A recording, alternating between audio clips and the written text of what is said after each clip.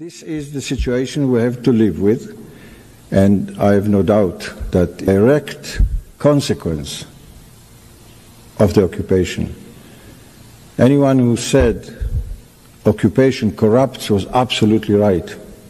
And we are occupying the West Bank and the Gaza Strip for the last 25 years, and this is corrupting us, maybe even more than the American aid. Well, I would like this to, to be eliminated altogether. I think that we should pay for our arms out of our own money. But in any case, this is one of the most damaging gifts that we get from the United States. What is your view on whether occupation corrupts and American aid corrupts Israel? Well, occupation definitely corrupts because you have to treat uh, the people that you're occupying as subhumans, uh, which is exactly what the Israelis do.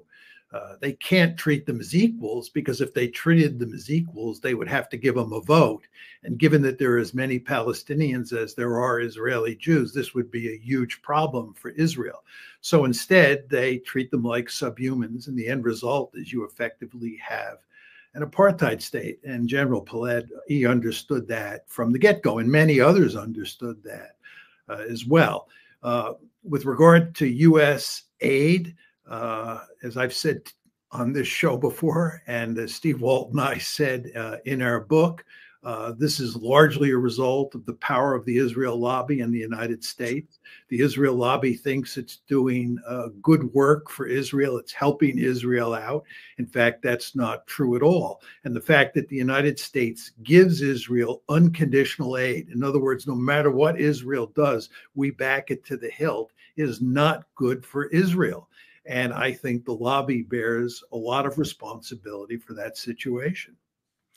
A lot of uh, viewers are writing in as to whether General Peled, who I don't believe is with us any longer, is the father of Miko Peled. And the answer to that is yes. Yes.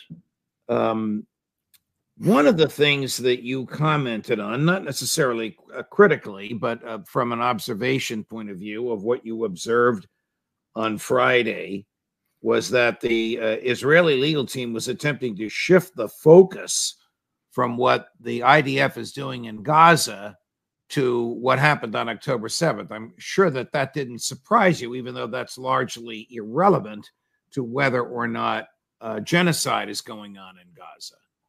Yeah, it was quite interesting the extent to which the Israeli speakers, uh, and all of them, uh, talked about the events of October 7th. And what they were trying to do, obviously, was shift the focus. And furthermore, I don't think that this tricked uh, the judges at all. I think they understood what was going on. I think this was done mainly uh, for uh, propaganda purposes or for influencing public opinion around the world. And the Israelis actually said uh, at one point, one of the Israeli spokesmen said at one point that what happened on October 7th does not absolve us from following the laws of war in the conduct uh, of our campaign in Gaza. So he was, in effect, admitting that what they were saying had nothing to do with what the issue was on the table.